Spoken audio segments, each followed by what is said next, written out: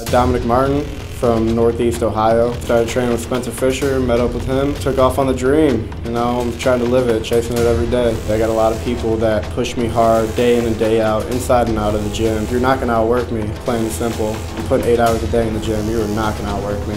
You're gonna have to kill me in there. I'm going into every fight thinking, it's mirror you, life or death, right here, right now. It's my future, yours, and I ain't losing. What's up guys, Dylan Forkner here, training for my upcoming fight for Caged Aggression for the 145 pound title. I'm training here at Team Bad Intentions here in Des Moines from Peyton, Iowa. The record right now is 7-1, currently on a six fight win streak. One of the biggest shows in Iowa, so I hope to go out there and put on a good show for my friends and family and fans. I don't know much about Dominic. He's only won two in a row. I've won six in a row, so I'm coming in with a lot of confidence. I guarantee I'm gonna be his toughest fight. That's a fact. I don't see the fight going to the championship rounds, the last two rounds. Once we step in there, I'm gonna be ready to go, and I hope you are too, because I know the fans are ready to see us bang.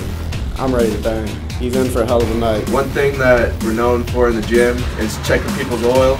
So one thing Dominic's gonna have his hands full is, I'm sorry to tell you, but you're gonna get pretty familiar with my thumb.